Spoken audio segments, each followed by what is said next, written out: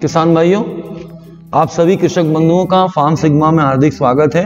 आज हम इस वीडियो के माध्यम से आप सभी कृषक बंधुओं को हम गेहूँ फ़सल में जो लगने वाले कीट हैं, उनके बारे में आपको निम्नलिखित बिंदुओं पर जानकारी देंगे।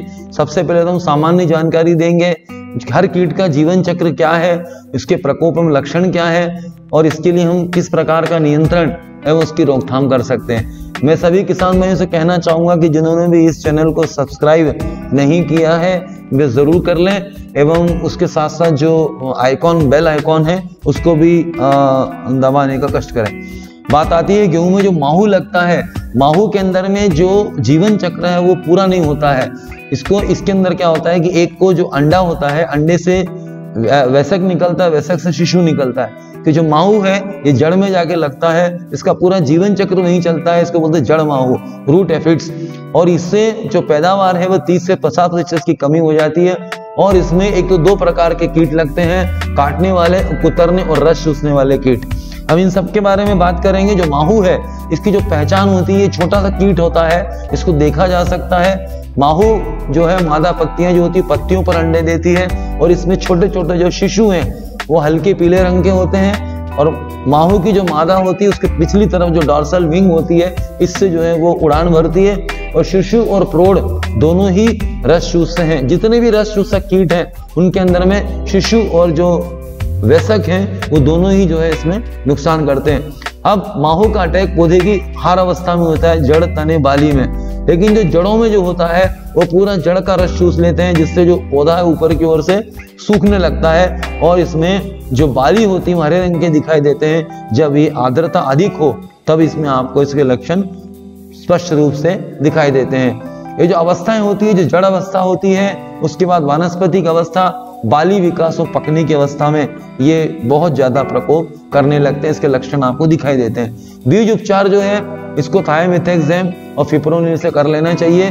जो छिड़काव है, वो सबसे पहले नीम ऑयल का स्प्रे करें। इमीडिया क्लोपरेट थायमिथेक्सम और डाइमिथोएट सबसे अच्छा जो है, इसके अंदर जो बहुत ज़्यादा कारगर है, वो इमीडिया क्लोपरिड है। इमीडिया क्लोपरेट जो है, वो रूट इफ़ेक्ट के अंदर में बहुत ही बढ़िया काम करता है। बाद में इसका हम पर्णी छिड़काव भी कर सकते हैं। लेकिन अगर हम नीम ऑयल करेंगे तो इससे जो है, पौधा कड़वा हो जाएगा।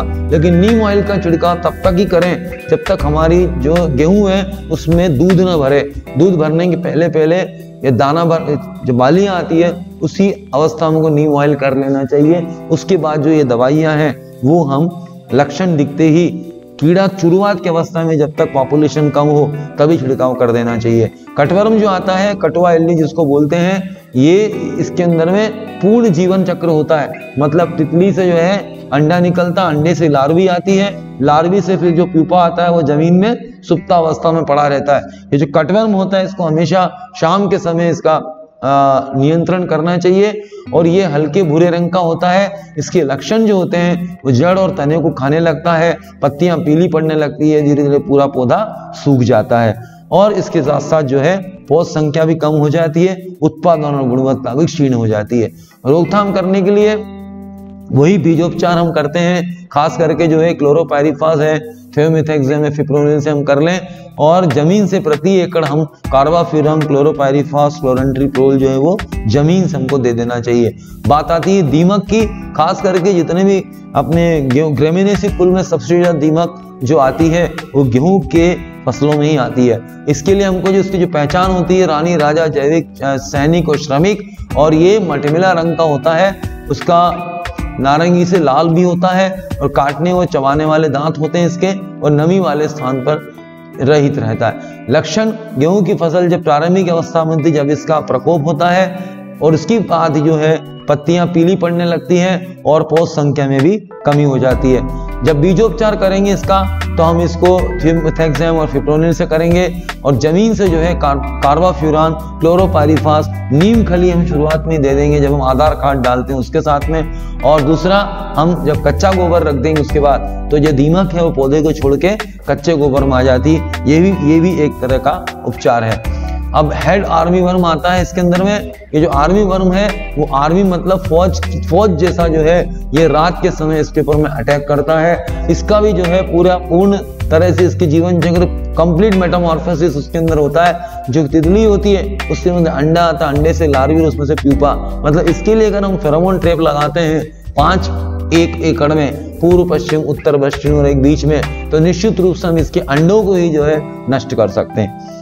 बात आती है, पहचान जो होती है, इसके वैसक कीट जो है, पतंगी भूरे रंग के होते हैं। हम लाइट ट्रैप भी लगा सकते हैं, जिससे कि हम इन जो इनकी जो तितलियाँ हैं, वो वो बिजली अपने लाइट की ओर, प्रकाश की ओर आकर्षित होती है। हम उनको भी अगर ये आकर्षित होकर के नीचे घासलेट एक तसले में रख दें तो उसमें भी जो है, घासलेट में गिरने से ऑक्सीजन फ्री होने के कारण तितलियाँ जो है, वो नष्ट हो जाती हैं। अब इसमें जो लक्षण होते हैं ये खास करके ये दाने वाले स्थान को खाने लगती है और अधिक प्रकोप से फ़सल में बहुत ज़्यादा नुकसान होता है और उत्पादन भी, भी बहुत ज़्यादा कमी आ जाती है। अब रोकथाम जब करेंगे तो उसके लिए फेरोमोन ट्रैप लगाना बहुत ज़रूरी है।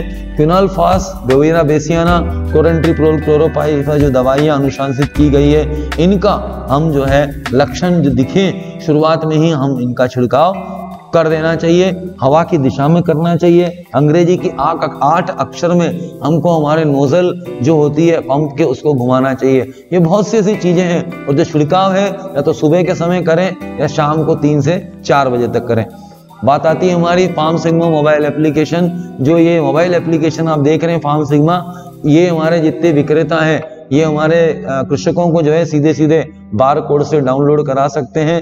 इसकी जो जानकारी है, सटीक परामर्श आपको मिलता है और उसके बाद में मृदा परीक्षण की रिपोर्ट के आधार पर अगली फ़सल की जानकारी है, मौसम का पूर्वानुमान है, मंडी के भाव हैं, ये सब हम इस ये सब जो है इस एप्लीकेशन में काफ़ी आपको जो जब देखेंगे, खोलेंगे तो यह सारी चीज़ें आपको मिलेगी।